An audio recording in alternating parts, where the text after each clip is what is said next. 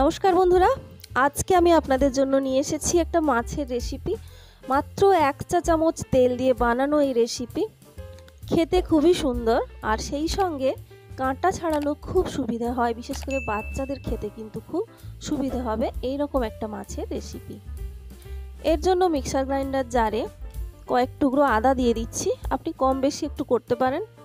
রসুন দিয়ে দিচ্ছি বারো থেকে চোদ্দ কোয়া। এরপরে দিয়ে দিচ্ছি একটা মাঝারি সাইজের পেঁয়াজ। দেড় টেবিল চামচ টক দই দিচ্ছি। এক চা চামচ সাদা সর্ষে, আপনি চাইলে হাফ হাফ কালো সাদা সর্ষে করতে পারেন। স্বাদ মতো কাঁচা লঙ্কা দিয়ে এটাকে মিক্সার গ্রাইন্ডারে ভালো করে বেটে নিতে হবে অল্প জল দিয়ে। তো মশলাটা বাটা থাক। এখন আমি নিয়েছি ছ পিস মাছের পিস। আপনি যে কোনো মাছ নিতে পারেন, রুই, কাতলা, মৃগেল যে কোনো স্বাদ মতো নুন দিচ্ছি। নুনটা কিন্তু একদম ঠিকঠাক হওয়া চাই এই রেসিপিতে আর দিয়ে দিচ্ছি অল্প একটু হলুদ গুঁড়ো, স্বাদ মতো লঙ্কার গুঁড়ো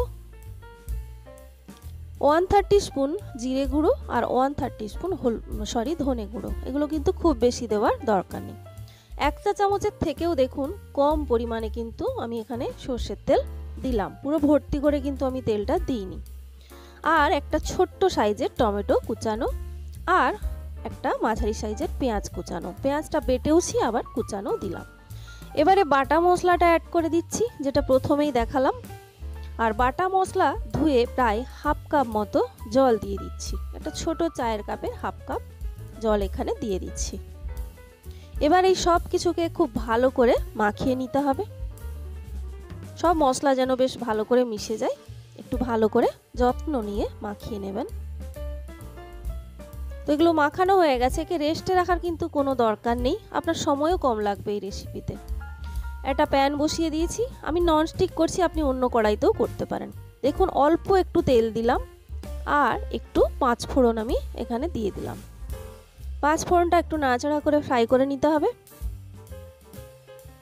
এরপরে ম্যারিনেট করে রাখা মাছটা এখানে দিয়ে দিচ্ছি। আর এই বাটিটা ধুয়ে আরও হাফ কাপ মতো জল আমি দিয়ে দিচ্ছি। এই রেসিপিটা আমার ড্রাই ভালো লাগে। আপনি যদি একটু গ্রেভি রাখতে চান, তাহলে জলটা আর একটু বাড়িয়ে দেবেন।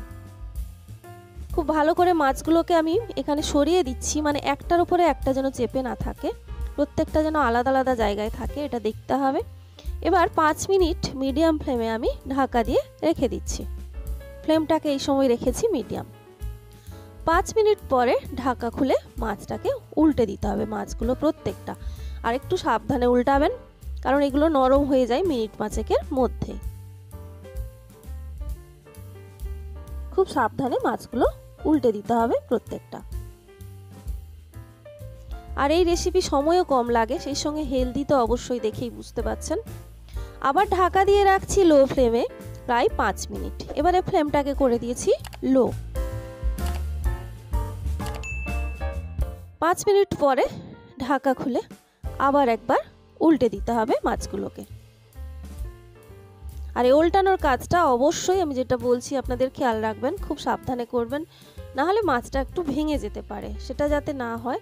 সেই জন্য অবশ্যই উল্টানোর সময় খুব সাবধানতা অবলম্বন করবেন। সবগুলো উল্টে দিয়ে মাছটাকে আমি এবার আবার ঢাকা দিয়ে রাখব লো ফ্লেমেই সাত থেকে আট মিনিট। তারপরে গ্যাসটা বন্ধ করে আরও মিনিট পাঁচেক আমি এই অবস্থায় ঢাকনা না খুলে রেখে দেব। দেখুন, আমি গ্যাস বন্ধ করে আরও রেখেছিলাম মিনিট পাঁচেক, একেবারে ড্রাই হয়ে গেছে গ্রেভিটা। আমি আগেই বলেছি, আপনারা চাইলে জল বেশি দেবেন, নুনটা সেক্ষেত্রে একটু বাড়িয়ে দেবেন। তো বন্ধুরা, দেখুন কতটা সুন্দর একটা রেসিপি তৈরি হয়ে গেল। অনেক ঝামেলা কম, সেই সঙ্গে খুবই হেলদি হয় এই রেসিপিটা আর সত্যি এই মাছের কাঁটা ছাড়ানোটা খুব সহজ হয় এই রেসিপিতে তো। বন্ধুরা, যদি ভালো লাগে লাইক কমেন্ট শেয়ার আর সাবস্ক্রাইব করতে কিন্তু ভুলবেন না।